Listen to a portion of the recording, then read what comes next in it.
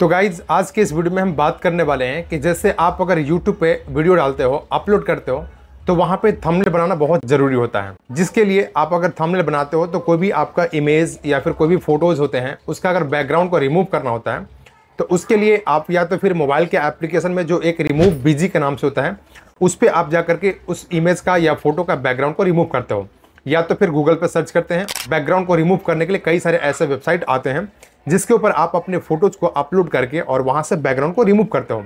लेकिन आज के इस वीडियो में मैं आपको बताने वाला हूँ कि अगर आपके पास विंडोज़ 11 है तो विंडोज़ 11 में मात्र एक क्लिक में, मात्र एक क्लिक में आप अपने फ़ोटोज़ के बैकग्राउंड को रिमूव कर सकते हो। किसी भी थर्ड पार्टी एप्स की ज़रूरत नहीं है। सिर्फ़ और सिर्फ़ आप एक क्लिक में अपने लैपटॉप में ही आप बैकग्राउंड को रिमूव कर सकते हो। तो चलिए मैं आपको बताने वाला हूँ कि आप भी अगर अपने फ़ोटोज़ को किसी भी इमेज को अगर बैकग्राउंड को रिमूव करना है तो उसको हम कैसे रिमूव करेंगे? तो नमस्कार दोस्तों, मैं हूँ रंजन और आप देख रहे हो हमारा YouTube channel R K tech info तो चलिए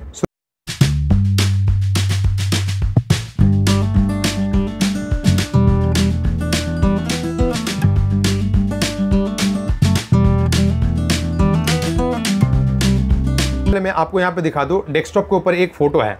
इस इमेज को पहले मैं ओपन कर लेता हूँ।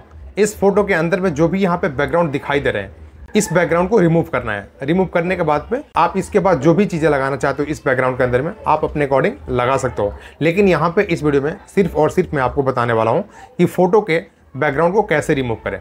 तो चलिए सबसे पहले जिस फ़ोटो को भी बैकग्राउंड को रिमूव करना है, उस फ़ोटो पर आकर के राइट क्लिक करना होगा। एंड देन आपको यहाँ पे ओपन विथ पे क्लिक करना होगा, यानी कर्सर को लाएँगे। और यहाँ पे राइट हैंड साइड में देखेंगे तो एक यहाँ पे पेंट का ऑप्शन आ रहा है। इस वाले इसको पेंट में ओपन करना है। क्लिक करने के बाद भी यहाँ पेंट में आ चुका है। यहाँ से फ़ोटो को जूम इन या जूम आउट करना है तो अपने according zoom in zoom out को कर सकते हो इस फ़ोटो को। अब जैसे इसको हमने 50 पे, इसको सेट कर लिया अब यहाँ से इस फ़ोटो को रिमूव करने के लिए बैकग्राउंड जब इसमें रिमूव करना है तो उसके लिए यहाँ पे कई सारे ऑप्शंस दिए हुए हैं। लेकिन यहाँ पे आप देख सकते हो इमेज के अंदर में, यहाँ पे एक ऑप्शन है इस पर कर्सर लाने के बाद पे, यहाँ पे लिखा हुआ है रिमूव बैकग्राउंड इसके ऊपर आप क्लिक करेंगे। क्लिक करते ही यहाँ पे जो भी फ़ोटो है, उसका बैकग्राउंड यहाँ पे रिमूव हो जाएगा। यहाँ से इस प्रकार से बैकग्राउंड को हमने रिमूव कर दिया। अब इस फ़ोटो को सेव करने के लिए यहाँ पे आपको फ़ाइल पे क्लिक करना होगा। एंड देन यहाँ सेव, यानी कि सेव वाले ऑप्शन पे क्लिक करने के बाद पे जिस फ़ोटो को मैंने ओपन किया था, यानी कि यहाँ से हमने डेस्कटॉप के ऊपर जो यहाँ फ़ोटो रखा हुआ है, इसको ओपन किया था तो सेम इसी को रिप्लेस करके और वहाँ पर सेव हो जाएगा। लेकिन इस फ़ोटो को हमको अलग में सेव करना है तो इसके लिए फ़ाइल पर क्लिक करेंगे और यहाँ पर सेव एज पे लाएँगे कर्सर को और जिस फॉर्मेट में आपको सेव करना है, जैसे P N G J P E G B M P जो भी सारे यहाँ पे फॉर्मेट दिए हुए हैं जिसमें भी आपको यहाँ पे सेव करना है, उस पर क्लिक करेंगे।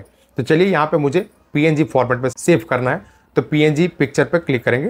क्लिक करने के बाद पे जहाँ भी आपको जिस लोकेशन में, जिस पाथ में आपको सेव करना है, वहाँ क्लिक करेंगे और यहाँ पे फ़ोटोज़ का जो भी आपको नाम देना है, वहाँ पे आप इसको नाम दे देंगे और इसके बाद सेव वाले ऑप्शन पे क्लिक करना होगा। सेव पे क्लिक करते ही अब यहाँ से पेंट को क्लोज करेंगे। अब यहाँ आप देखोगे एक दूसरा फ़ोटो यहाँ पे पी में तैयार हो गया। यानी कि इस फ़ोटो को जब हमने ओपन किया तो इसका बैकग्राउंड रिमूव हो गया। और पहले वाले आप फ़ोटो देख सकते हो यहाँ पे। ये जो पहले वाला फ़ोटो है, इसके अंदर बैकग्राउंड है। और दूसरा फ़ोटो, अब मैं यहाँ पे आपको ओपन करके दिखा रहा हूँ। यहाँ पे दूसरा फ़ोटो है। तो दोनों फ़ोटो में आप देख सकते हो, एक फ़ोटो में यहाँ पे बैकग्राउंड दिखाई दे रहा है और दूसरे में बैकग्राउंड रिमूव हो चुका है। तो इस प्रकार से आप भी आप अपने लैपटॉप के माध्यम से सिर्फ़ और सिर्फ़ एक क्लिक में किसी भी फ़ोटो के बैकग्राउंड को रिमूव कर सकते हो। तो वीडियो अगर अच्छा लगा हो तो वीडियो को लाइक कर देना और चैनल पर पहली बार आए तो चैनल को सब्सक्राइब कर देना और जितना हो सके अपने दोस्तों को भी शेयर करना, जिससे कि उनको भी ये चीज़ पता चल सके कि आपने लैपटॉप से एक ही क्लिक में किसी भी फ़ोटो का बैकग्राउंड को रिमूव करना है तो कैसे करेंगे? तो मिलते हैं इसी के साथ एक नए वीडियो में, नए टॉपिक के साथ, तब तक ले जय हिंद, वंदे मातरम।